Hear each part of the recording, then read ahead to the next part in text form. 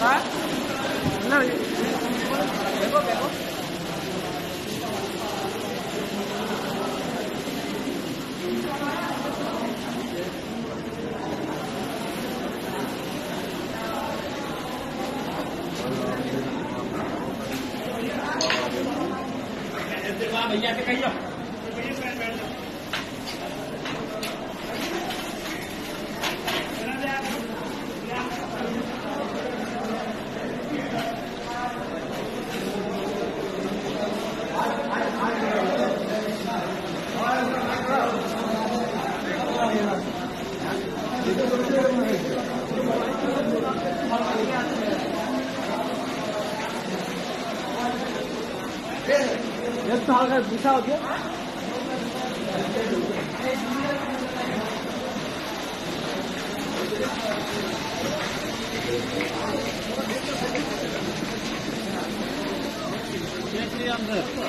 you.